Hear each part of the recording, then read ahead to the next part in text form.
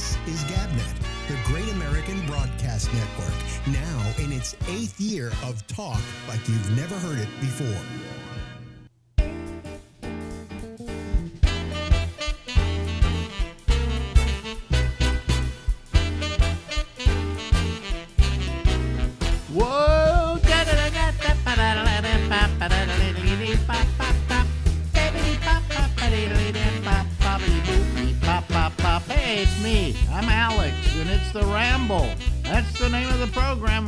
Until midnight tonight.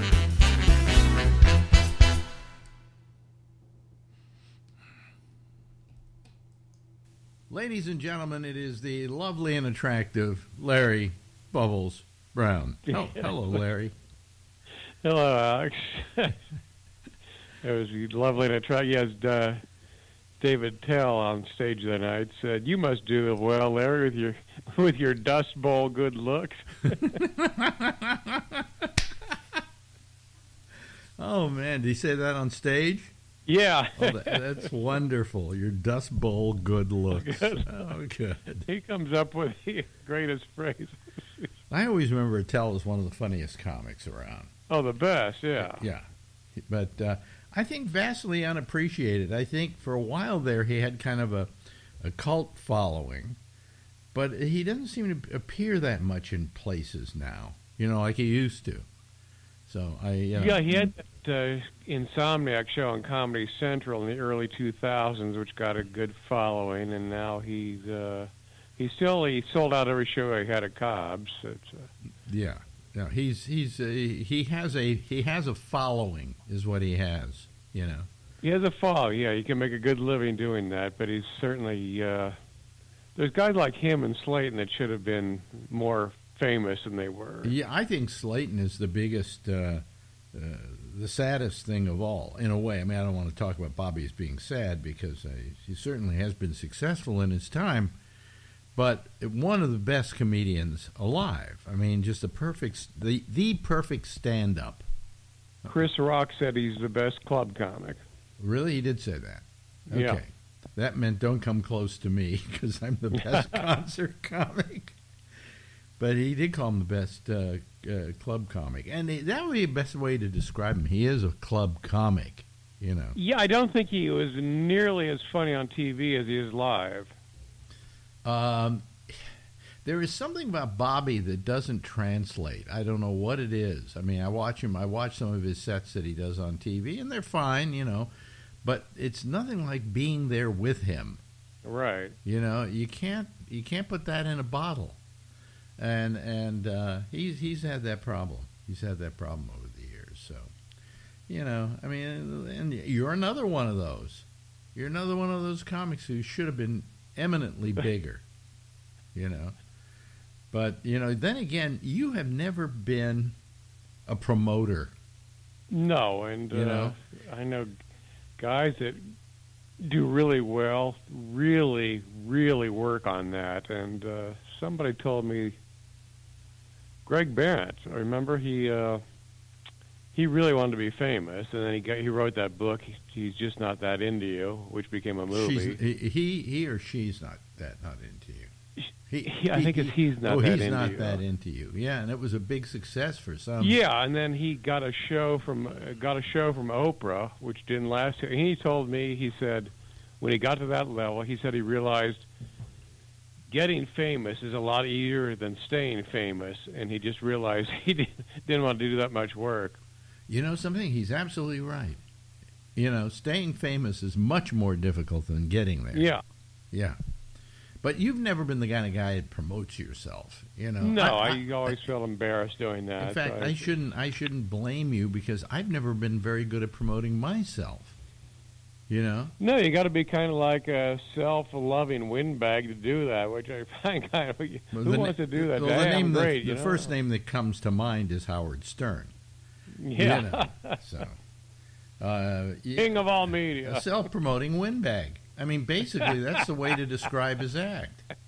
You know, and I call it an act, folks. I always call when, when, like, for instance, when people talk to me about my persona on air, and I, I always talk to talk about it as the act.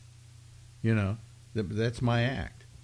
uh, the character I play on radio is is my act, and uh, so nothing nothing terrible about that, you know. But anyway, it's a matter of uh, a lot of people who have made it make it because they're very good at promoting themselves. Yeah, I think uh, yeah, you got to wonder how guy uh, Clint Eastwood or someone that's had a career literally till their 90s, how do they do it? I think Clint has had a career for that many years because he has changed his venues on any number of occasions. I mean, he became a director, and that gave him the ability to keep his career going behind the camera. But because he was so successful at making those movies, he could put himself and cast himself in some of them. You know, Mhm. and that's why he's lasted this long. Well, I read that he became a director because when he was doing films early in his career, he thought some of the directors were so bad. He thought, "Oh my God, I can do better than this." Yeah, yeah. Well, I mean, I you know that's the way I felt about radio. I used to, uh, you know, one time I remember there was a guy who was it? I can't remember his name. Oh, gee, I'm trying to remember his name. He was working over at K, at KSFO. It was uh, Gene Nelson. He was doing the morning show, and I was fired at. Uh, let me see, where was I fired? I'm trying to remember where I was fired from at the time, but I was I was let go by a radio station in San Francisco. And I think I think this is the first time I got let go at uh, Live 105. And I woke up that morning. My clock radio always went off at that time of the morning, and usually, oddly enough, I didn't have it tuned to Live 105. I had it tuned to, I think KSFO. And I'm li- wait, it goes off because it's the first morning I'm not working anymore. I forgot to turn it off, right? You know, and um, on comes Gene Nelson. And I'm lying there listening to this drivel that this guy is doing. And I'm saying to myself, wait a minute, let me get this straight. I'm out of work, but he's not? You know? And that was the thing that always was a mystery to me. And part of it was that Gene Nelson was a great self promoter. And I wasn't and that's why I kept like being out of work and this thing and that thing. Not because I was bad; I got big ratings and stuff like that, but because I just didn't know how to play the game. hmm And and that's the problem. You got to know how to play the game. And um, I was never good at it. Never good at self promotion. No, I don't know. Guys like uh, George Lopez was uh, great at that. He would work so hard just promoting himself. When he had a show, he'd be uh, calling every town, the local station, "Hey, watch my sitcom tonight," and uh, really got to work hard to keep it up there. And Yeah, yeah. But uh, you know, I mean, and there's and no- most comics are lazy, so that's why. Well, it isn't that you're lazy. I think it's that the, in your case, you just you you you don't like promoting yourself. You don't like going Yeah. out there and touting how great you are. I know it's. A, I think that's the Midwest part of me. We're kind of uh, very. But you know who that. does that the most? The people who are not as good as the rest. They somehow Right. You see, and the and the reason why the Dave Attells of the world and the Larry Bubbles Brown and the the well, Bobby Slayton was pretty good at self promotion. He was pretty good at self promotion, but his self promotion was to plug what he was doing in the clubs. And what's happened is over the years, the the nature of the clubs have changed completely. And he, the reason he's not working anymore is he decided I'm tired of trying to get jobs where they're bringing in all these young kids, you know, because they'll work cheap and uh, they they have their own little following, so it's cheaper for them to bring them in than to bring me in. At, I don't know. I guess he used to get four or five thousand dollars a week, you know. So he gave up on it. He just gave up. He says rather than take less money, he said I'd just rather not do it at all. So yeah, Yeah. And I always found that a, sh- a complete shame because there are guys like the Dave Attells uh, and and the Bobby Slaytons, uh, and we can name a whole bunch of others. You know, I mean, I hear that uh, who who was the guy that we used to always say was a genius in comedy in San Francisco? Uh, Kramer. Kramer. Yeah. Yeah, uh, not the Kramer from Seinfeld, but uh, um, trying to remember his first name now. See, that's where my Jeremy. mind- Jeremy Kramer. Jeremy, Jeremy Kramer. Uh, Jeremy Kramer was, uh, um, in most people's minds, an absolute genius. Oh, brilliant! Yeah. Just brilliant. And what's happened to Jeremy Kramer? Last thing I heard, who did I talk to? Can't remember who I talked to. Said he's just become a bitter old man. Really? Yeah, he's just really just not not there with it. You know, not funny anymore. Just bitter. Yeah. Yeah. That's not good. Well, I mean, come on. How many years has it been? And he hasn't really made it big.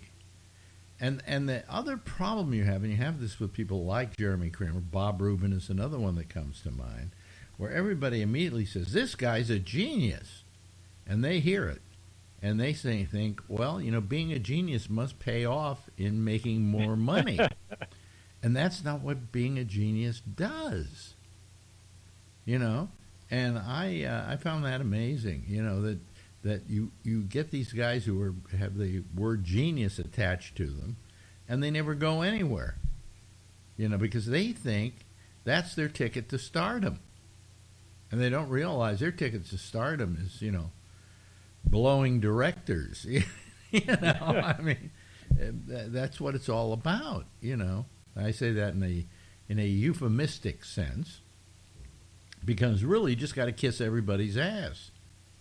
And you're not about ready to kiss anybody's ass, are you? No. No, and I'm not. And I, I find that uh, that I uh, I always felt I should make it on my talent too. Now I did okay, but there are guys, you know. I mean, like last year, I was up for uh, the Radio Hall of Fame. Okay, uh, and um, I was in a category that the public votes on. All right. And the winners, uh, I was up against Sally Jessy Raphael, who I personally felt should have won because of her, you know, her career and her history as a as a personality, and not only in radio where she was being nominated for, but television as well. But there was also me. Uh, there were also some other people who had been in radio a while and the thing was won by a morning team in Philadelphia that I never heard of in my life. you know, I'm going, okay, so my one shot to get in the Radio Hall of Fame, and I get upstaged by these two. I would say, if I listened to them, I'd say this is mediocre.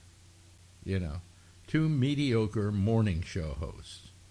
You know, and they probably went and picked up their trophy and were so happy for it, but, you know, people like me helped establish what happens in this business. I, I was saying to somebody the other day in one of these discussions we were having, maybe it was Kravitz, that uh, there would be no Howard Stern if there hadn't been an Alex Bennett. You know, because this guy grew up listening to me.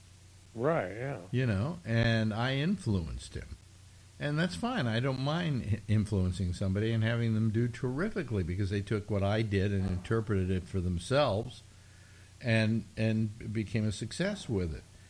But what does bother me is that I'm not getting that same kind of payoff. You know, at least something as simple as being admitted to the broadcast radio hall of fame. You know, which he, by the way, it wasn't induct, inducted into many years ago before he probably even really deserved it. You know, so I mean that's, that's the kind of thing that bothers me, and it should bother you too. I mean, you you watch comics who are big and successful, and you go, "How come I didn't make it?" Do you ever say that to yourself? Well, I think I know. I just uh, I didn't. Uh, I staying in San Francisco was probably the biggest mistake. But well, that is a mistake. Yeah, yeah, that would be. But are you happy? Well, wait a minute. That's, I'm asking Larry Bubbles Brown. is he happy? I don't think I'm less happy than I would have been elsewhere. So. Okay. So, uh, uh, but uh, you know, do you feel that you've had a good career? I'm yeah, simply by the fact that I made a living doing stand up, which is not easy. So. Okay, the fact that you were able to do it and continue doing it and make a living out of it was enough for you yeah, when I started out, I thought, man, if I could just make my living doing comedy, that'd be the greatest thing I could do, and so I did that. So you did that. So you're successful. You're successful. So yeah, at that point, yeah, yeah, sure. Now, I am I successful? Was I successful? Oh, absolutely. See, I don't ever feel I was successful. No, you were you dominated the radio here. Yeah, but I don't feel I was successful. You know, when the whole thing was going on. So you would like to have dominated nationally. Yeah, I was talking to somebody today for about uh, an hour uh, that you have been bugging to call me, and about a week ago he got in touch with me, and that was uh, Chuck Farnham. Oh wow, great! Yeah. yeah, yeah, yeah.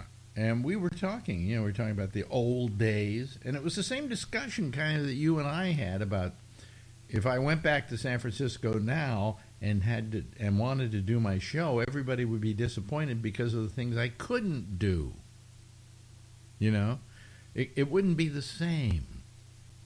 Uh, and um, but I never felt I never felt that I was particularly successful.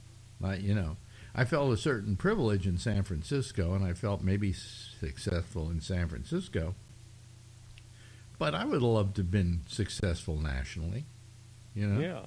And I, I never got to that point. Also, radio in those days was not yet all satellite delivered, you know, and so I, anytime I'd try and make a deal somewhere, I'd want to say, well, are you going to put me up on a satellite? You know, are you going to uh, syndicate me?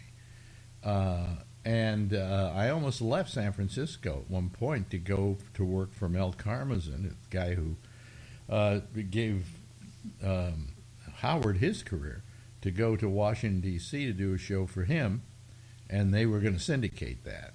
And at the last minute, I turned it down because I felt I was betraying Live 105 if I left. So really, yeah. wow, that would have been huge. Yeah. So that was my. Uh, uh, I also turned it down because I had heard terrible things about Mel Karmazin, this guy I was talking about.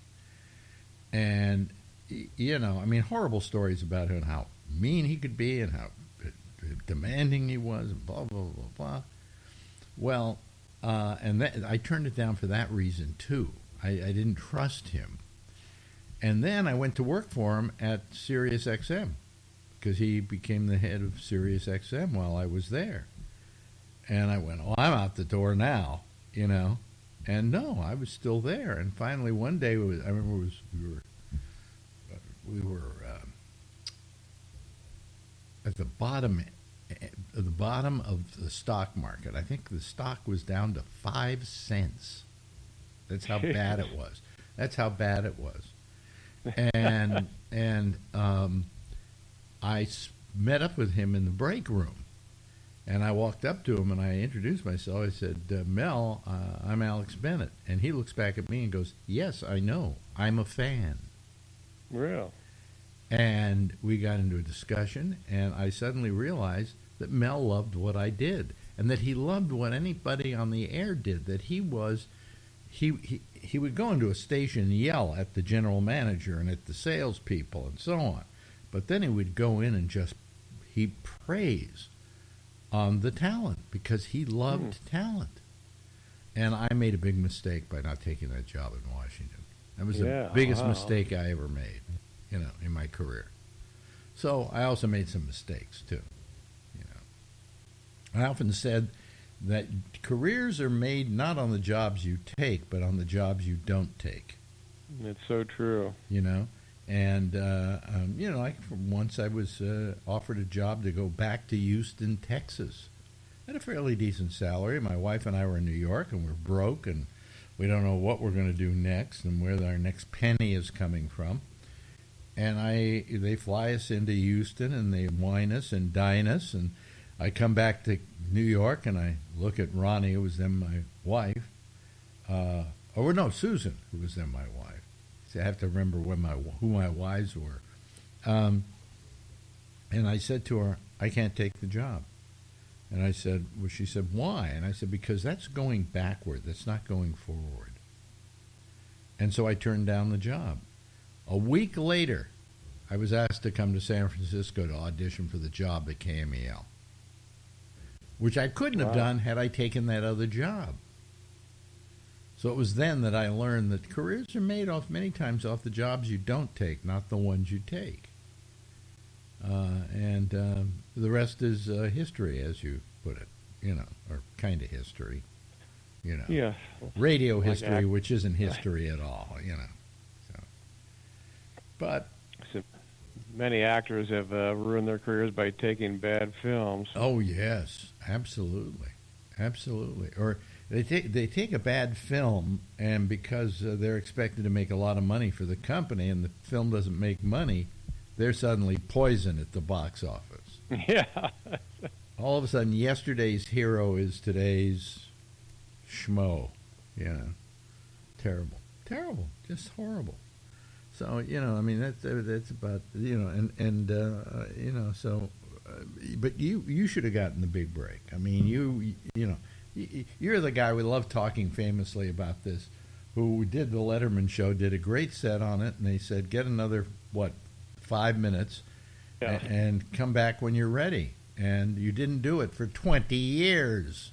Ready in 20 years. I Ready- took my time. And then when you did it in 20 years, it was a great set. I mean, that when you walked off, everybody told you great set, right? yeah, yeah. Yeah. In fact, you were even better than you were the first time because you had Oh, I much better. Yeah, I was just uh, But the fact first time. that, the, First Yeah. time you do TV is a little nerve wracking to say the least. the fact that you waited 20 years, that was maybe your biggest mistake. Yeah, that was uh, can't come back when you're but, 90. But then again, you know, I. I got to tell you, uh, who- Jake Johannsen. Remember Jake Johannsen, right? hmm No. Jake, who's a good comic, holds the record, I think, for comics who have been on the Letterman show more than any other done, comic. well, I think he did 40. Yeah, just Is unbelievable. that that many? Yeah, Jesus. And where where's Jake Johannsen today? he's a working comic. So. Yeah, but did he get any bigger than the, the clubs? He made a couple. Made one movie. Uh, that uh, I guess didn't work for him. I don't know why. It was a fairly good movie. Um, but I mean, Jake just uh, you know. Well, he made uh, one huge mistake, is what I heard. Was uh, Seinfeld wanted him to be Kramer, oh, and he turned it down. Really? I didn't. Never heard that story. I've heard that story, and I think I thought, well, that couldn't be right. And then I, I looked it up on Wikipedia, which is notoriously wrong, but that's that story is mentioned that he was friends with Seinfeld, and Seinfeld really thought he'd be great as Kramer. But did they offer it to him? I think it was offered, and he said no because at the time, I think he, I think he what I heard was he wanted to star in his own sitcom. No. Well, what you do is you star in somebody else's sitcom, and then you get your own sitcom. Yeah. I mean, I think. Well, to what- me, that's uh, I never wanted. I just wanted to be a supporting character in a sitcom. That would have been my idea of fame because it was very little work and it was an easy job and you make good money. Yeah, yeah. Um, you know, I mean, David Spade was really good at that. He always took like the supporting roles in sitcoms and did very well. well, and he he established his character that he could be hired for. Yeah. Bo- Bobby Slayton did the pilot for. I'm trying to remember what what it was. Now he played like uh, the fix-it guy in a building or something, and I'm trying to remember what the show was. But it was. Was it that uh, was it that sitcom, a Richard Lewis sitcom? I think that might have been it. Yeah. I think so. Yeah. Yeah, and uh, that didn't go. So he, that was the last time he was ever set up for a sitcom. but that, that's what a lot of comics wait for. They wait for the sitcom to come along, and then they drop comedy altogether. You know, but then there are people like Bobby Slayton who are really the quintessential stand-up comic, and that doesn't necessarily translate into a part in a sitcom. No. You know, But there was a time in TV, the 80s and 90s, they were throwing sitcoms at comedians. Yeah, but they were sometimes they were pilots, and then they never went any further than that. Like I have, I I saw, and I in fact edited into his reel that I put together for him, Bobby Slayton's biggest part that never happened. They were going to do an animated version. They were going to do an, a, a version of the Pink Panther with human beings and the animated Panther. And guess who the voice of the Panther was? Yeah, really? Bobby Slayton. It- and it was perfect. That was the perfect voice for the Panther. You know, because it's got that rough little voice, you know, whatever. But anyway, hey, listen, I'm looking. Ooh, ooh, we're coming down on uh, time's up almost. We must be jacked up on that caffeine. Yeah, right. I wish I could get jacked. I can't get jacked up on caffeine anymore. It just kind of mildly gives me, uh, keeps me awake for about ten minutes or something. You know. anyway, well, yeah, we're we're all gonna die. Okay. That's true. Mm-hmm. Yeah. Well, listen. Hey, listen. It's good talking to you again. And we- talking to we, we must do this again next week. We we shall. Okay, ladies and gentlemen, that's our his nibs, Larry Bubbles Brown. Thanks, Larry. Thanks, Alex. This is GabNet, the Great American Broadcast Network, now in its eighth year of talk like you've never heard it before. Oh, thank you very much, Larry. We'll be with you again uh, next week, I guess. Yeah, we do it uh, once a week uh, with him, and uh, be, that'd be good. Okay, terrific. Hi, everybody. How are you? I'm Alex. yeah. Oh boy, tired tonight again. I don't know what's with me. I, you know, I'm, I, I, I, I you know, I'm a hypochondriac, as you know. And I've become more of a hypochondriac since my friend Shecky died. I've just I just feel that hey, my days are numbered. I'm feeling tired all the time. I'm weak, blah blah blah blah blah. And actually, I look at myself in the mirror and I'm healthy, but I you know, I'm having a little trouble walking and uh, I don't know. Maybe it's just you know, I really need to get out. I really need to get out. I'm having some more B12. This this jacks me up a little bit. Okay. Let me see here. Uh, okay. Mm, mm. You just put it under your tongue and then you just let it sit there. Anyway, so you know, I mean, I'm I'm uh, uh, ever ever since uh, Shecky went, uh, I uh, I've been a little bit on the uh, on, on the real hypochondriacal side. Just ask my wife; she has to live with it and I've always been a hypochondriac, but you know, as I get this old, you know, you you wake up every morning, you go, "Is this the last day on Earth?" You know, and uh, uh, I, I know that sounds depressing, doesn't it? Wait a minute, let me let me bring Charlie Wallace in here. You're, by the way, Charlie, uh, you are in fact the only one waiting uh, to come on here. So. Let me see here. Do we have him? Is he gonna? We're gonna have. Uh, Yeah, wait a minute. There we go. Ah, yes. Oh, here comes Vernon Nunn, too. Vernon's joining us now. Thank you, Vernon. I appreciate it. Oh, and Kevin is calling as well. So we have like four, three really intelligent people and one stupid one. Thanks a lot, there, Alex. there goes your, there goes your, your bad. Uh, uh, look at, look what's happening there, Vernon. Yeah, yeah. Y- You're gonna have to go back to your other machine. Yeah, yeah, this, this yeah, computer, this computer is dying on me. I guess yeah. Well, you know. I have to go get the other one. Okay, well, we'll see in a little bit. Okay, uh, we'll uh, we'll get rid of Vernon here uh, so that he doesn't. Uh, uh, oh, there we lost him. Okay, there's uh, there's Kevin. What are you standing up for, Kevin? Kevin's standing up, and nobody's able to get their machines going tonight. Oh, damn! You know something? You're not wearing one of your spiffy T-shirts. Yours just says Arizona, and I know what that means. Yeah. I was feeling nostalgic. Yeah. Did you go to Arizona? I lived in Arizona for 18 months. Oh, for 18 months. Yeah. But did you go to school there? No, 18 and 19. 2018, 2000. When I first called, No, really. You were in Arizona, weren't Yeah. you? And where had you come from to go to Arizona? Austin, Texas, where I came back to. Okay, so why did you leave Austin, Texas? To, uh, was it a was it a wife you broke up with or something or Oh, well, girlfriend. girlfriend? Yeah. And so you went. What did you go to Arizona with her? Yep. And then when we broke up, I moved back to Austin. Screw you! I'm going back to where I want to be. Yep. Uh, you're not. Are you from Texas? I can't remember now. No, I grew up in Chicago. You grew up in Chicago. Okay. So what made you wind up in Texas? I went to graduate school at the University of Texas at Austin. I see. Okay. Well, that makes a lot of sense, you know. So anyway, ah, ah, ah, look at my red tongue. That's from the B. upstate.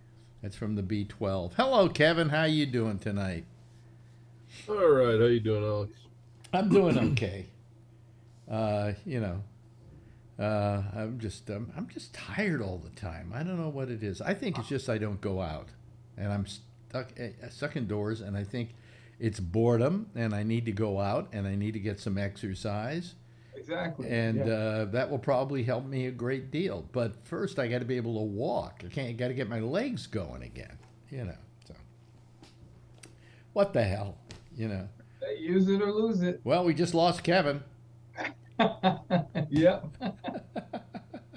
Eh, just close the door. You know, a big, big, brawny guy like you, and you've got a pink chair. What's that all about? It was in my daughter's room and I stole it I see. A long time ago? quite a while ago. I keep saying I'm going to get another one because this is uncomfortable as hell and it squeaks. Yeah, yeah. Oh boy. Well, anyway, so uh, so what what what is new? We don't we look. You are the only guys on the show right now. Where is everybody? I don't know. There's some stupid thing called the you know the final four or whatever That's that gotta be thing what is. they're watching. Yeah. Yeah, you know, so they're probably watching that. Either that, or nobody loves me anymore. you know. I know Josh is on the road. Yeah, Josh on the road. Josh is uh, said apologize to everybody for me that I'm not there tonight, but I'm uh, in Yorktown, right? Is that where? Yeah. Yeah, yeah. And so he's very nice. Sent me a note said I'm not going to be able to be there tonight, and I just wanted to let you know. And I felt that was very nice of him. You know, far be it from anybody else. Like, oh, for instance, uh, who who isn't here? That's always here.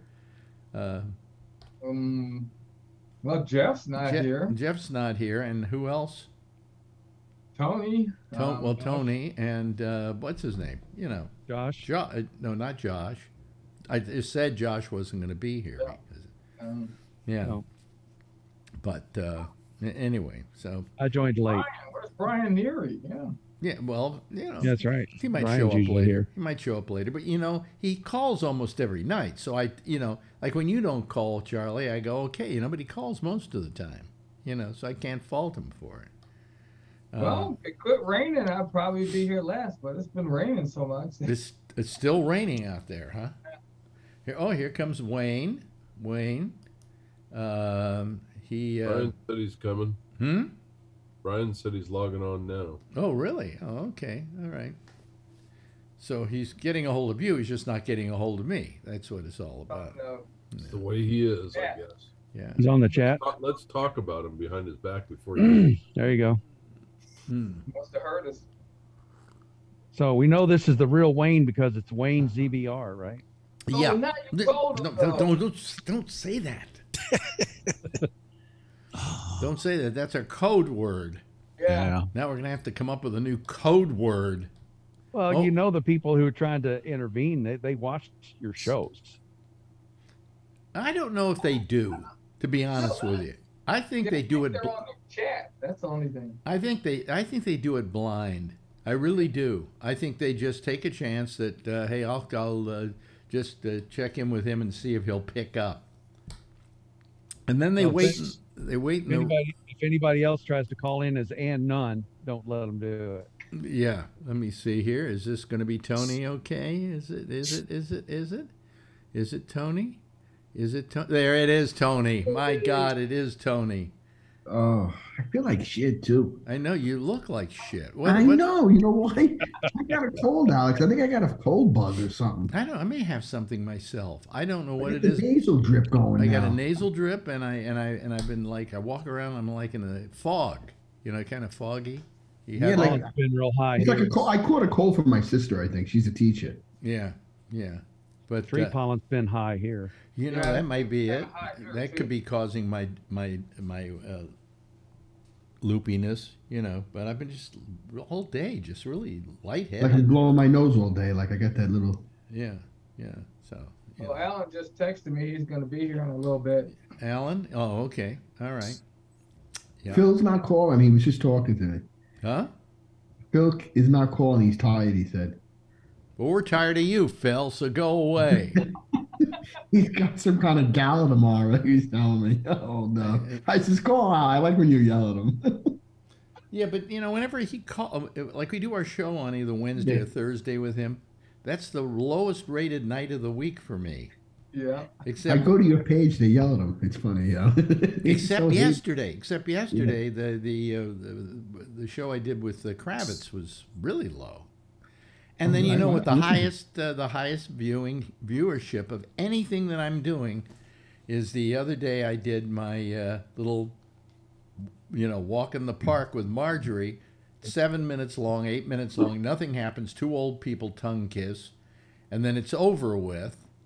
And uh, I got something like I don't know, 800 views or something like that. You know, without even breathing heavy, and the week ain't over yet. So, you know, yeah. Well, look at Ray. We, We love Marjorie. Oh. there we You go. got my mother up. my What? mother's haunted. Does he have, I like when he puts my mother's dog. Oh, I can put your mom. No, you do it? no. How's she doing? Let's see how she dreamed is. of her the other night. She was cooking in the kitchen. Then I woke up. Let's see here. Here's here's Yeah, she's here's the same background that that, I like it. I can't believe she's that uh, that uh, uh, he- see, it's the There's same- mommy. She never looked so good. Imagine getting woken up at two in the morning asking for a search. I thought she was like, "What do you want? I need a search." It's two o'clock. Well, you got that from a still of Psycho, right? Yeah. yeah, That's Mama from Psycho. yeah, I downloaded it. Yeah, Yeah. Psycho. waking me up. Trying to sleep here.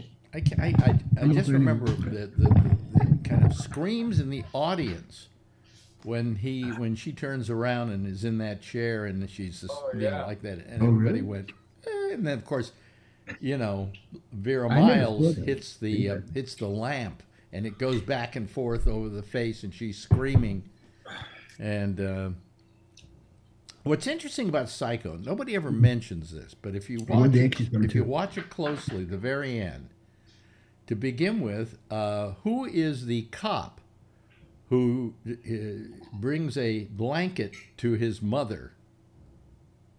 I don't know. I never Uh, watched the uh, whole to, movie. to rather Anthony Perkins, rather. At the end, they say they say here, here's a blanket. He takes it to uh, Anthony Perkins. Ted Knight. Oh, really? Oh, Hello, Mary. Hello, Lou. Yeah, it's Ted Knight. Yeah, We used to read the news all wrong. But he, he he's sitting there, and you hear him thinking, and there's a narration of what he's thinking, and he's saying this, that, and the other thing. He says, and I don't know why they feel that because I would never hurt a fly. yeah. And all of a oh, sudden, it fades out to the car being pulled out of the water.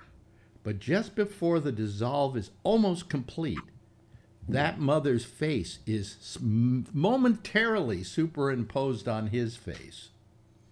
But you have to look quickly. I gotta watch that whole movie. Yeah, but if you watch quickly that precise moment when they do the dissolve, they also have, um, um, you know, a, a, a his mother's face, skeletal face, superimposed on his face as they fade to the. But it's it's quick. It's really quick. Ted Knight's face, or no, the, no, or- not Ted Knight's face. Listen to me. Anthony Perkins. God, I hate it when I say something and then people don't Yeah, listen. He's not listening. No, I listened, but I, I, I didn't listen. yeah, that's that's, that's the. I didn't It was listen. perfectly clear to me. Is that what you were told your teachers about. in school? I listened, Yeah. but I didn't listen. Yeah, Yeah, That's good. driving That's good. It's a good excuse. I accept it. Okay. thank you. What'd you say? What? Do it again. Do it again. But anyway, so we uh, we um, yeah um, in the news today. You know what's kind of interesting is what's happening to the DA here in in New York. Um, he uh, uh, this guy Bragg, who I, I'm really he's becoming a hero of mine because he. Did you see what happened, Alex? Well, that's what I'm about to say. Oh, I'm sorry. Ahead. Yeah, yeah. He he, um, he he's been threatened. He, he got they they got a little thing in the mail, and uh, it they thought it might be you know since it was a white powder that it could be what do you call it uh, Anthrax. anthrax. But of BA course, of course, it never is. You know, That's what. and it, That's I how we started. kill 30 and it was mailed from an address in Florida. Okay, and so so he got the it was mailed to an address from in Florida, from an address in Florida, uh, and I hope it isn't the real address. So that guy's really stupid. And then on top of that, there's a letter inside. Uh, they're assuming that he hasn't like shipped the whole envelope out to the uh, out to the toxic uh, people. Uh, but he uh, he uh, in the note it says, uh, "I'm going to kill you." Don't beat around the bush. Now, what what brings out this kind of behavior in people? yeah, they're crazy fuckers. Wait a minute. What brings out this kind of behavior in people? Anybody have a guess? Trump. That's it. You get the freaking. Sociopath. What? Sociopath running for president. Yeah. Yep. I mean, he, he says he says, "Well, I'm not encouraging anything, but if there's there's going to be some real violence in this country." He totally he did it again today. He did it again. Yeah. What was it he said exactly? I remember it was. I'm paraphrasing it. It's just like the January 6th thing, all Yeah. over again. Yeah. What what he said, it was very similar. Yeah. Yeah. If they they try to indict me, uh, there's going to be a lot of violence in this country. Yep, that's what he And said. bloodshed. Yes, he said You know what I remember? I remember uh, what was the what was the play Becket, uh, the play Becket, and, and it was made into a movie. And it's when he, the uh, King of England wants to kill Beck, have Becket killed by his minions, but he doesn't tell them to kill him. They just said, "Oh, I'm in complete misery, and I, only way I could be put out of my misery is if this guy Becket were dead." And then his guys go out and kill him. That's kind of what Trump does. Yeah, it's like the, the mobsters. It's like the Roman emperors. It's all it's all like implied. Hmm. Yeah, I it, don't. You know, I I I don't want to kill him, but if somebody else wants to, I won't stand in your way. You know. Yeah, but did you hear today that Mike Pence is probably going to have to testify, as is Mark Meadows, because this uh, privilege that they have claimed has been shot down. by the judge. Yeah. Yes, Yeah. Now, can they appeal that? they can, but the Court of Appeals has already ruled against his lawyer, who said that uh, he he can't testify because of attorney-client privilege. That's already been appealed to the uh, circuit court, and the circuit court struck it down too. Said no, you got to testify before the grand jury. Yeah, yeah. Well, you know, I, eventually, eventually, I think they'll nail Trump. But the more they keep trying to nail him, the more he commits more crimes. Yeah. And that eh, this is not. You think of you'd like to think that Donald Trump, if nothing more, is we is not stupid, you know, and that we don't want to. Oh, I think he is. we Yeah, don't want to underestimate him, but he's stupid. You know. He's cunning, but he's stupid. Yeah, he's good at being cunning. He's very good at it. He's got street smarts. Yep. Okay. Or maybe Yeah. even gangster smarts. I mean, he, he I think he, he would love to have become a gangster. And actually he has become a gangster. Yeah. You know. Just uh, just terrible. I mean, I can't believe that this guy is president was president of the United States so that anybody with any half a brain would vote for him, which makes me believe that this country has a bunch of people that don't have half a brain. Well, you know when this all started, right? When? During Reagan, when he I was going to say that. he started downplaying public schools, how horrible they were, and dummied down the public school education in this country. And ever since then, it's gotten worse and worse and worse. And of course, the Republicans are good at saying, "Oh, this sucks," and then they do everything they can to make it suck. Yeah. And then they complain some more about how this sucks. Don't you think it started when Reagan courted the uh, the right wing religious fanatics? Yes. And and it just spiraled from there. Yes, Yeah. Mm-hmm. evangelicals. Yeah. Yeah, the evangelicals. Uh, but I mean, it, um, uh, uh, I don't know that necessarily Reagan making the schools more less effective. Let's say. well, Uh, he wanted to he wanted to dummy down the the school lunch program by calling ketchup a vegetable. I remember that. Yeah. Yeah. It isn't? No, it's a fruit. It's a condiment. No, but it's a fruit. It's not the a fruit vegetable. with sugar. Yeah. Ketchup is a condiment. Well, it's a condiment once you process it, but the Right. The, but on its own, it's Tomatoes are a fruit. Yeah. tomatoes are a fruit. Yes, yes, Well, but ketchup ketchup is made from tomatoes. Oh, ketchup. i- he no, want- ketchup. Oh, he yeah. wants to say that. Oh, I see. Okay, You want to that's- say that- ketchup. Ketchup is a was condiment made from was a tomatoes. vegetable. Yeah. Yeah. What about catsup? What's up with you? Ketchup. You know that that's how our company got started was uh, anthrax in the mail. The three congressmen that got him after 9/11. Oh yeah, I remember that. We we we were we were just just before I started working at the company, they were making stuff to detect uh, bio threat stuff, so like anthrax. And then uh, after that happened, uh, we went in with Northrop Grumman and we test all the all the U.S. mail that goes through. So if it went through U.S. mail, likelihood we would have caught it. Really? Son of a bitch. Yeah. Now I don't know who these guys think by. Most time it's talcum powder, right?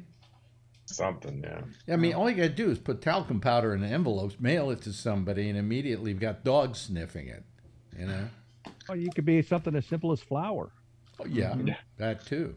But talcum powder seems a little more lethal, you know. But I mean, uh, um, uh, so anyway, this district attorney has been threatened, and he just isn't taking any threats. He goes, "Look, I get thirty of these a month. You know, if I if I if I stopped doing what I'm doing every time I get one, I'd never get work done. So, you know." Um, but I think he's determined now, more than ever, to you know, to indict him. So uh, I think that's going to happen. I think it's going to happen next week, probably. You know. But Uh, uh, I'd like to see Jack Smith bring uh, bring charges before the Manhattan DA, because the Manhattan DA may not be as serious as obstruction of justice in the the uh, documents case at Mar-a-Lago. well, the documents case is an entirely different case and much more serious. Right. And as is, of course, the January 6th insurrection is, is more serious.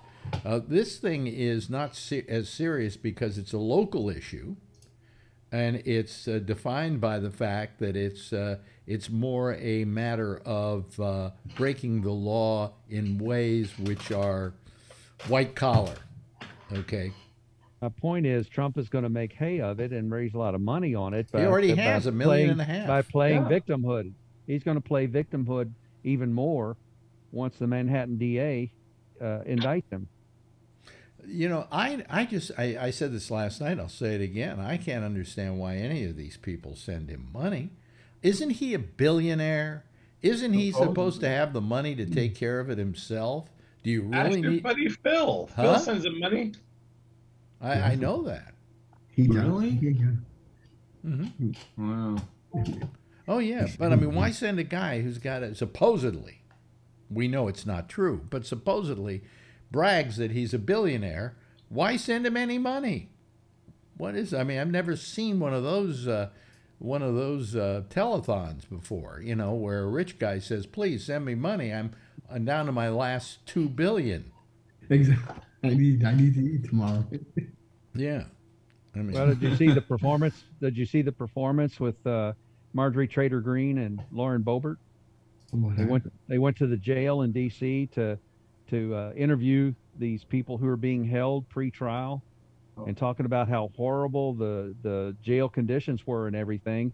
And yet, a Democrat, uh, a Democratic uh, congresswoman who went along just to kind of keep things sane, said these people had tablets. They were texting their family. She said, you know, I've been a, a, a prosecutor for 20 years, and I have never been in a jail where people were given this many benefits. wow. And so, and Boebert and Greene went down there. Oh yeah, they went down there interviewing these people, talking about they were political prisoners, yada yada yada. It's a new comedy got team of Boebert and Greene.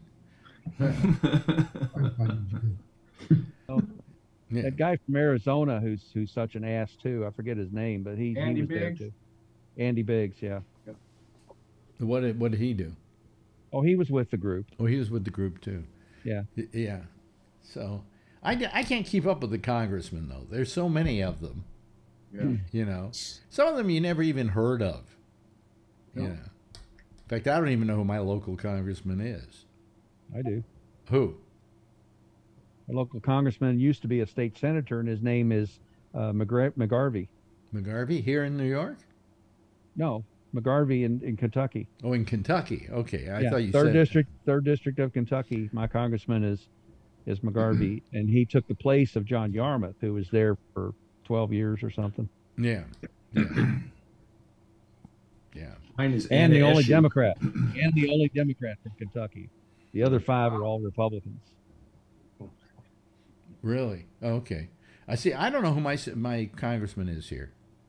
I only one I know uh, is out in uh, uh, Long Probably Island. AOC. It's probably AOC. Oh no, it isn't AOC. No, no, it's somebody else. I can't remember now. I uh, thought he covered your area. But uh, uh, you know, out in Long Island, they have that uh, guy who is Oh, i- is Santos. A, is a is yeah, a- he lied about everything. Yeah. What a nutcase he is. well, He didn't tell the truth about nothing. you know, I think that uh, that Trump should be very jealous of him. He he making him look good. I mean, You, he you know never what I don't get? truth. Uh, What I don't get is Trump keeps looking for names to call DeSantis. You know, like Oh, he calls him Ron Ron DeSanctimonious. What is yeah, I that? heard that one. yeah. Half it, most of his audience had to go look it up in the dictionary if they even owned a dictionary. Okay, he, he's he's sitting he's sitting on a landmine here, and he doesn't go for it. Ron DeSantos. Yeah. Yeah. You could do that. You could do that. Well, I guess it wasn't a good idea. I guess. I'm sorry. I'm quitting show business after that. No. But uh, I, I just, you know, I, I, I just don't understand politics today. Explain it to me, Kevin. Can't do it. I mean, it's so, it's so disgusting. It's amazing. It's just amazing. Um, by the way, there's a guy waiting to come on here, and I, he he does use his, his name to his credit. But then if I suddenly notice it's him, he'll come on again with another name. Okay. And at the end of the show, when everybody's gone, I usually put him through on Zoom so I can give him the fi- finger and tell him he's a moron and tell him that, you know, I'm working on getting him thrown off of uh, Zoom and things like that. And he's always, he has no shirt on. I don't know if he has clothes on. He's naked. And, and I'm going, yeah, what is this? We, you know, at least put some clothes on. And then he doesn't have anything to say. He's a complete moron. You know, so he's sitting Are you there- an anti-shirt phobic? I'm an anti-shirtist. Yeah. but I mean, uh, you know, and I, I, I, I can't believe there's another moron, okay, who would sit in our uh, in our uh, waiting room, and I'm not answering it, and he'll stay there for the rest of the show. Why? You know, I'm not going to come to you. So, Drugs. huh? Drugs. You think it's dr- you think it's drugs? I don't know. He may be from England or someplace like that. I don't know where he's from. You know, Maybe he's from a country where they don't wear shirts. that could be. Could be Bora Bora. Yeah. Maybe it's just hot as hell. Yeah. By the way, if- Bali. If, any, if there's do that? anybody listening to us who lives in Bora Bora, give me a call. I'd like to Yeah. talk to you. Maybe we bombed him, Bora bar. Yeah, and, and please put on a shirt, will you? Thank you. We appreciate it.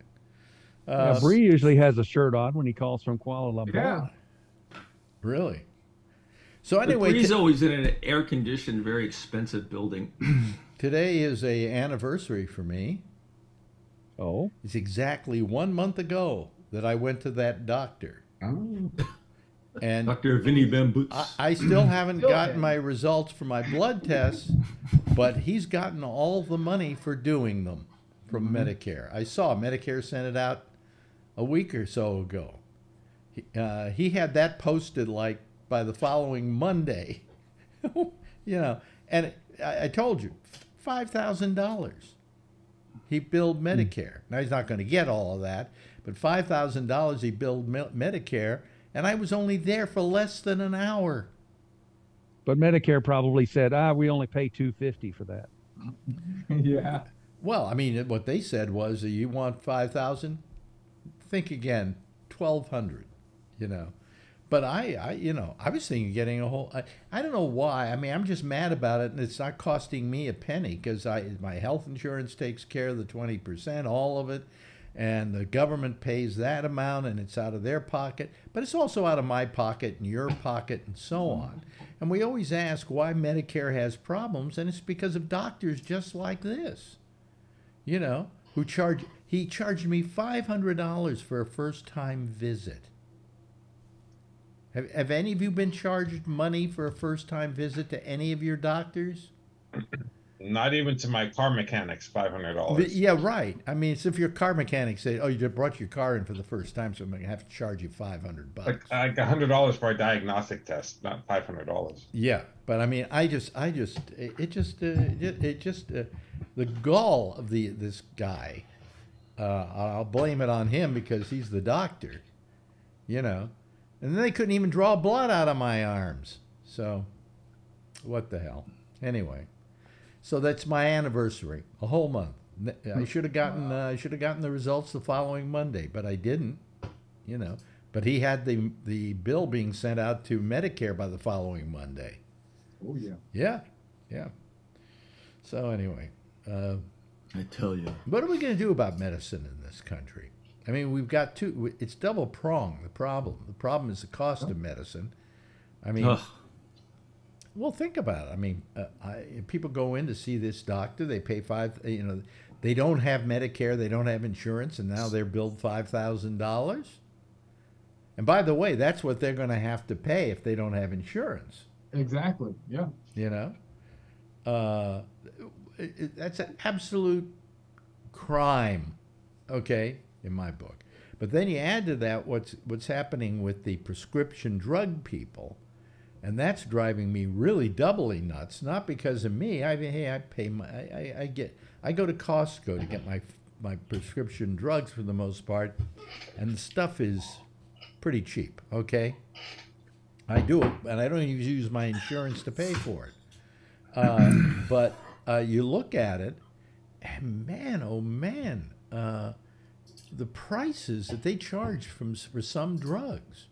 You know, you see the, all these cancer drugs on television they advertise. You know, do you know how much? I then just go online and just say how much is thus and thus. You know, and they'll tell you it's like twenty thousand dollars or something like that.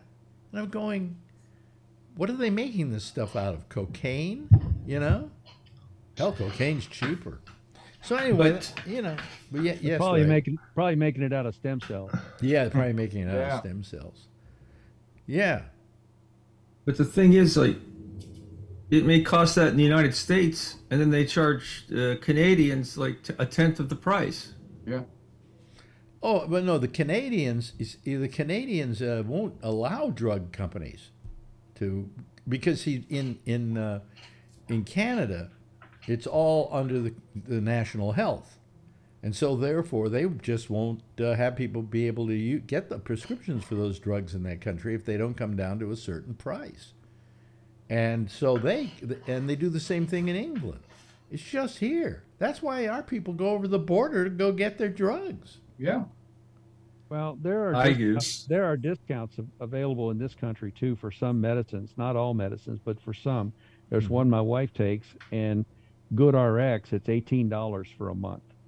If I didn't have GoodRx, it was five hundred and twenty-seven dollars. But can you only you can only do that for one month, right? No, Oh, you every can, month. Oh, every month you can do it. Yeah. Yeah. Um, we have uh, what, what what's that drug that everybody's taking to lose weight now that diabetics need and they can't get it? Oh yeah. Pregabalin, Oh yeah. No, not pregabalin. What? Ozempic. But, but Oz- Ozempic. Yeah. Ozempic. Yeah. That's one of them. Okay, let me just look here. Okay, and I will put It's it in supposed to control your A1C. How, yeah, whatever that is. Uh, Charlie probably knows. What is A1C? I, I don't need it, so I don't know. It's your like your blood sugar. average over three months, your blood sugar. Yeah. Ozempic. Wait a minute. Ozempic. Okay. Here we go. Okay. How much is Ozempic? Uh, let me see here. Sign up for savings. Blah blah blah. blah. How much is a 30 day supply of Ozempic? Now, I don't think it's a 30 day drug, is it? It's a, it, it's a, it's a it's an injection you do at home, right? Yeah. Uh, 30 day supply. Oh, uh, uh, let's see here. Uh, uh, uh, they say uh, $995 a month. That, that's cheap compared to some other drugs. Jesus. Yeah, you know, um, it's uh, that's not bad. But uh, there was one drug I looked up, and it was just the price was just amazing. And I'm going, why are you advertising to the average Joe on TV when they can't afford it? Even the, their prescription coverage probably won't let you do it, you know, or use it. Ask your doctor about Ozempic. Yeah. Yeah. Nine Well, hundred dollars a month. Yeah. Okay. Well, let me see here. I go over to Costco. I always love doing this. Okay, I go Costco uh, pharmacy. Okay, here we go, and I'm going to welcome to Costco pharmacy, and then I go. Oh, here we go. Down here. Uh, warehouse pickup, and then I go to drug pricing, and what? Let's see here. Can I get Ozempic? Ozempic there. Uh, and, uh, let me see here. Oh, oh gosh. Ozempic. Okay. Oh, Jesus, I can't type to save my life anymore.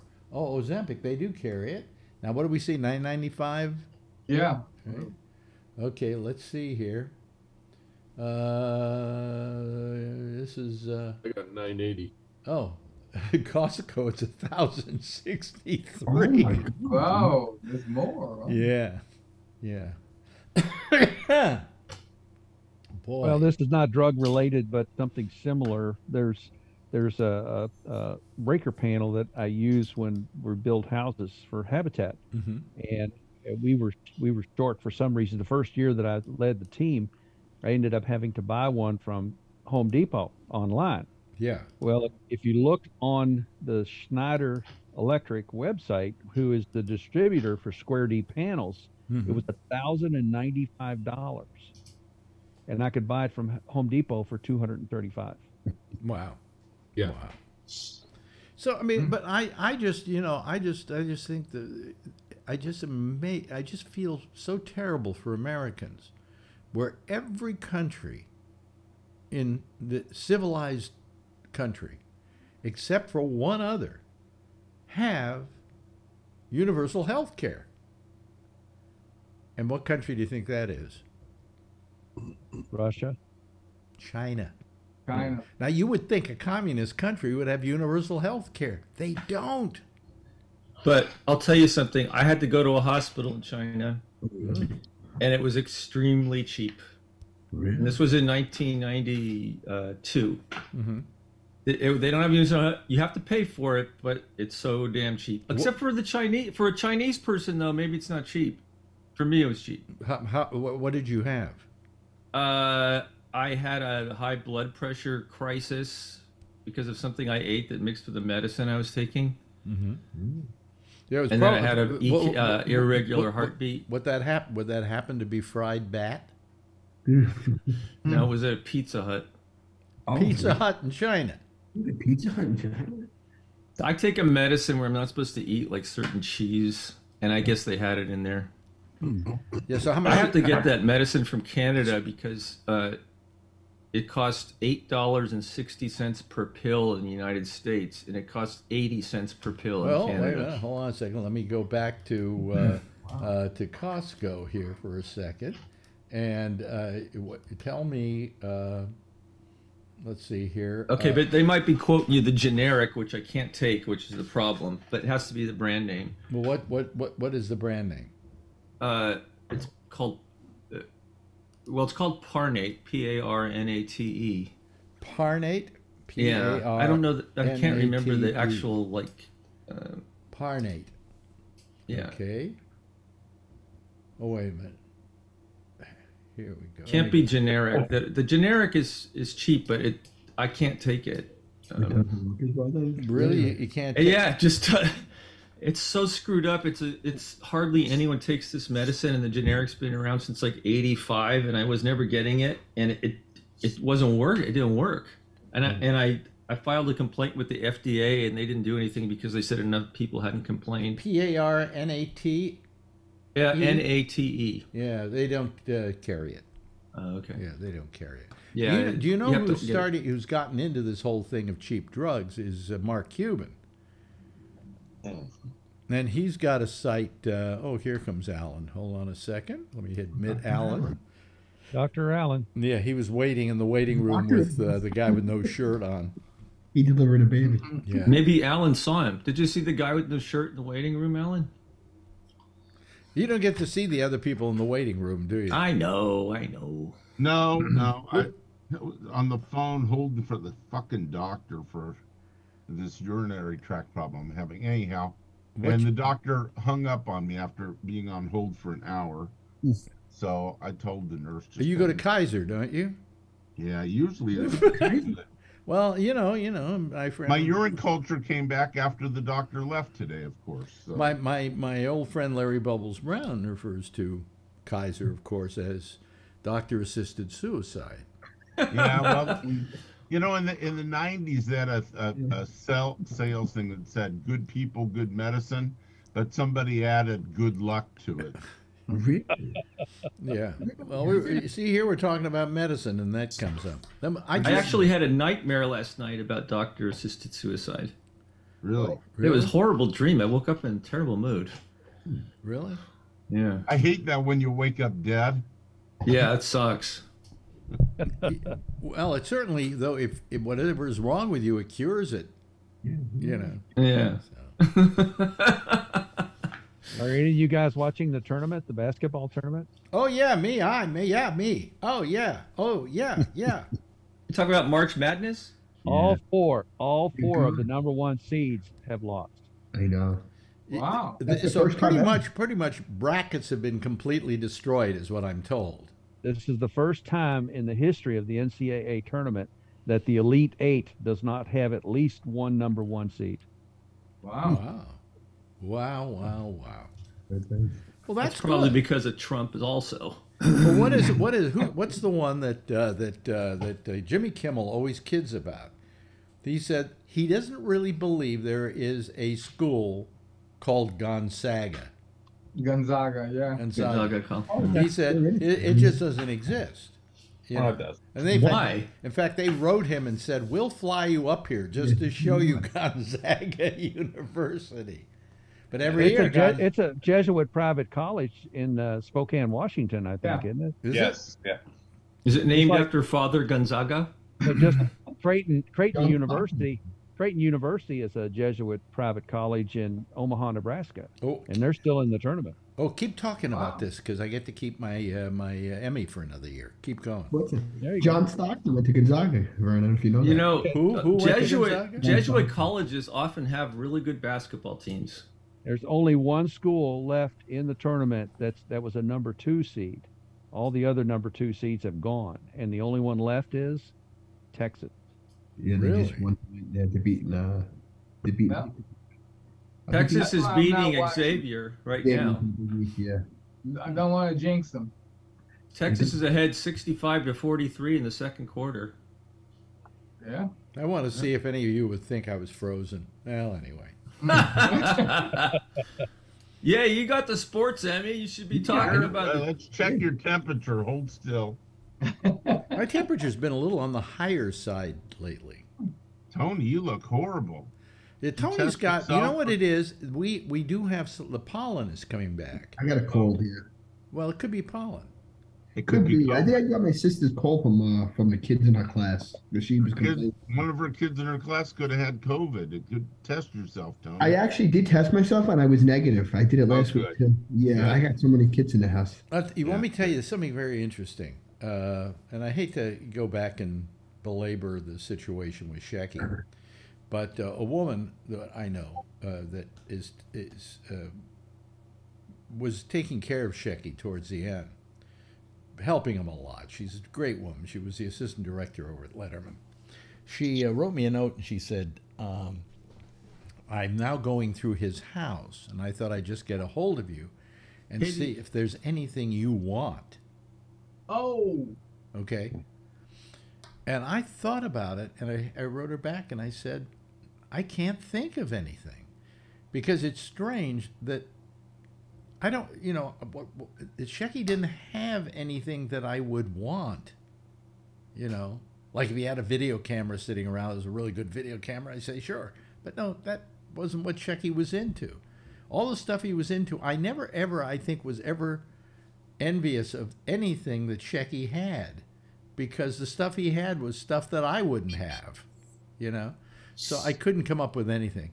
It's uh, uh, very nice of you to ask, but you know, I I can't think of anything right now, and uh, so I'm I'm and I'm try I keep trying to think. What did I think about? What's in that house? Because I went over there a lot, and uh, the only thing I could think of was in his uh, in, in his mother's bedroom, which he used to call it, or my bedroom, which he used Yes. to call it sometimes. Uh, he uh, he had a uh, a rocking chair, which I yeah, would my mother has one still. Yeah. yeah, I would pick up and put it in his room while we sat there and talked, so I would have something to sit on. And every time I went over, I would sit in this rocking chair, and I thought, well, maybe I maybe I could go for the rocking chair, you know, because that has some kind of association with with Shecky. But then I thought about it, and I said, I got to lug that rocking chair back to New York mm-hmm. City, Yeah. to Manhattan, and on top of that, beside you know, I can put it, I can order up a car and bring it with me or whatever. But on top of that, is he going to go throw up? The You got to lug it up eight floors, right? yeah, right, right. I can put- But but I thought about it. It's not that great a rocking chair, so it's not like it's a really old, you know, antique rocking chair. It's just an old rocking chair. So, you know, it was the one thing my parents I kept. They had a rocking chair, and I think I still I have, have one too for my grandmother. Yeah, That's what. I loved my parents' rocking chair. You know, it was uh, it was terrific, uh, and it had you know what it had it had a creak in it. You know they built creaks into those things, uh, into rocking chairs, so they would squeak when you, when you you know. So anyway, well, that's all boring stuff. Right, Wayne? Yes. He's the nighttime version of uh, what's his name? Uh, Jeff. No, not Jeff. no, no. Uh, Oh, uh, Edward Berger. Edward yeah. Berger. Ed Bergen. Yeah. Ed, yeah. If you people haven't ever watched the uh, Monday show, you're in for a treat if you haven't seen Edward Berger or heard Edward Berger. You don't need to see him. He has a voice naturally that is a cartoon voice. Yep. Yeah. I'll show it to you. What did you did you just I saw on this. did you just throw up? No. Oh, okay. Yeah. Oh, You oh, oh. Oh, Well, it's show and tell now on rocking Yeah. chairs. My That's a, this what- is by probably the like way, 50 years old now. that's a that's a nice rocking chair. Yeah, this is like my grandmother's. It's it's really old, like Shecky's had. Yeah, yeah. It's something like yeah, yeah. Well, This you know the old. you know the rocking chair at Shecky's I'm talking Yeah, about. I remember that because I said, "My God, my mother has one too." Yeah. Yeah, we back. We saved this. To take pictures of it, Tony, and send it to all your friends. Yeah, it uh, it's, it's terrific, Tony. Thank you, thank you for your show and tell tonight. You realize, uh, see that it's the same background that Ray has, okay, which is Except for Ray's got his mother. In right there. now. Everybody get a cr- screen grab of that, okay, and then you can do it too. I can't hear you, Ray. You're Ray, we can't hear You're you. muted, Ray. His mother was in a rocking chair in the movie, Yes, Yeah, right, yeah. Right. so that's kind of creepy. That is kind of creepy. No, I like a you know good rocking chair is wonderful. Oh yeah. Oh, I yeah. had one for thirty look out the something. Yeah, there's nothing more relaxing than a nice rocking chair. And then if it has a little bit of creak in it, you know, Yeah. it's really really cool, really cool. So you know, folks, How uh, come the other people don't have the wallpaper? I mean, Hmm? what's up with Yeah, that? everyone's in the house. What do you want for breakfast? I sent it to everybody at one time. Yeah.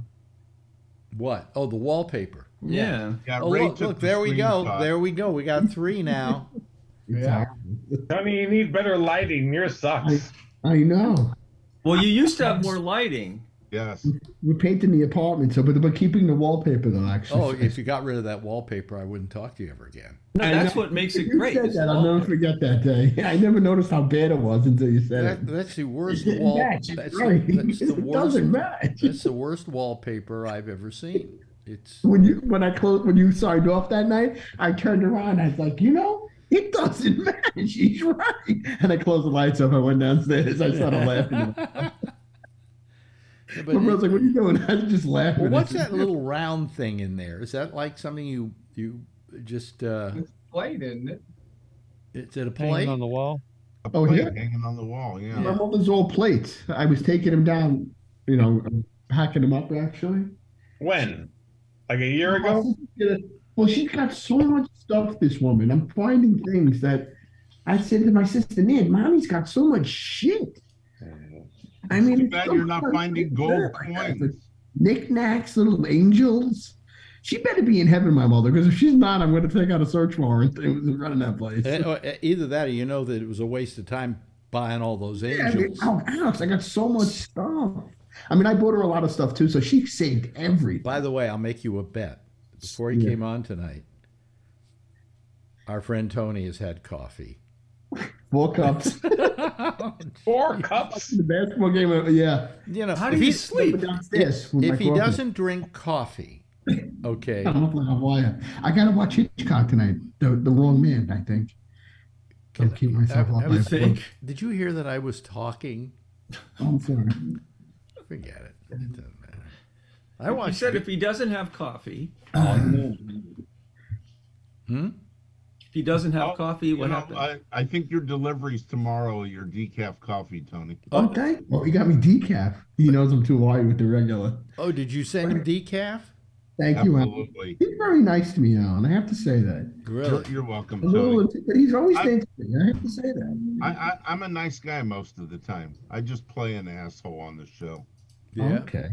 Plays an asshole on TV. Uh, there you go. Thank you. Thank I'm you. not on TV. You're the actor. You're on TV right now. Oh, okay. I guess. I, I bet somebody's watching you on a TV somewhere. Oh well. Yeah, you might be right. Yeah.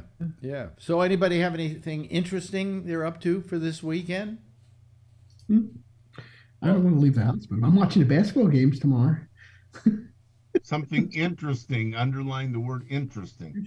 Uh, yeah. Yeah. Yeah. I said um, interesting. Yeah. Well, you know, I mean, uh, look, I understand people are really all jazzed up about about the uh, about the Final Four, uh, but what happens is is that all these sports events now all have this big event they do now. Everybody goes crazy over. Oh, it's it's. Didn't we just get through with the Super Bowl? I think we did. Yep. Yeah. Uh, but March Madness pushes more money than all of that stuff. Does it really? The gambling everywhere. Well, because you, how many are how many games? Do you, but you have it all bracketed, and you've got like you get down to the top sixteen or something like that, right? And then the betting really starts. After Uh, this yeah. weekend, it'll be the Elite Eight. People start with 64 teams, and then they lose their ass, and then they rebet, and then they rebet, and then they rebet. As And they you can bet on losing. games. You can bet on individual games. Yep. It's huge. It's it's much more than Super Bowl. And what's terrible that makes it even more terrible is you can now bet online. Yeah. You know, bet right, yeah, in, in two seconds. Oh wow, yeah, two seconds. Yeah. Wow, my phone. Yeah, you can lose your house in two seconds. I heard an interesting statistic is the the number of vas- vasectomies goes up significantly right at the beginning of March Madness. And they think it's because then the men have an excuse to sit on the couch for two weeks and I was going to say, is that in the hospital or at home vasectomy? At home vasectomies. Yeah, where the wife rips off your nuts. Oh yeah. That's bullshit because you know, I was back at work the next Monday after my I had on Friday and I was back at work Monday, so I don't want to hear about two weeks. Oh, listen, if I Yeah, were, well, you just lie. Say, "Eh, the doctor told me I have to sit around for two weeks. if I weren't so questionable about it, okay, Marjorie would watch more basketball uh, than she does. She she would watch all that stuff. She loves those things. She she even watched a bit of the Super Bowl. You know. You don't like the sports ops. I you watch know? basketball. No, I, I just I find I'll tell you uh, if if I have if it's like the World Series Oh, I like World and it's Series. down to the last couple of games, okay, uh, I can get excited a little bit. You know, I can get a little excited about that, but I can't get excited about football because I don't know how it's played, and I can't get excited about basketball. Uh, because again, you know, I understand how it's played, but I just back and forth, back and forth, back and forth. I'm sorry, I don't get it. I, you know, it's a, a very non-impactive sport. All right. Hockey's back and forth, back and forth too. Now, here's what I would go for: football with guns. What you. You know, I would pay to see that. I would even bet on that. Okay. You How would they do that?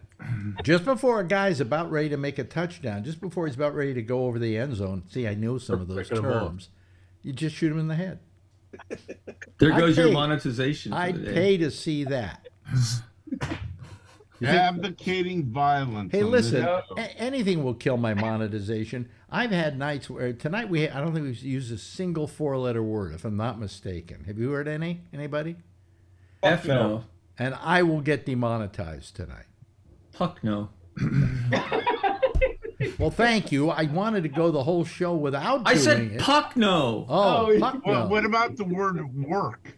There's a four-letter word. Yeah, but I mean, I, I just you know I uh, uh, I I get I, I get demonetized every night on the uh, on just the the stream, uh, and then I have to say uh, I want this reviewed, and then they review it and say, oh, you're okay. Well, then why are you doing this to me every night? You know, And then you collect your twenty cents. and I collect my twenty cents. It's because they have algorithms that are looking at this stuff.